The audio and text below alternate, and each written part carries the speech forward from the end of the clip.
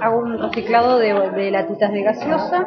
Eh, bueno, el reciclado es de, latitas de gaseosa. Eh, podría ser también cualquier otra latita. Hago unos cortes, unos cortes con tijera, uso tijera. Después luego eh, hago el enroladito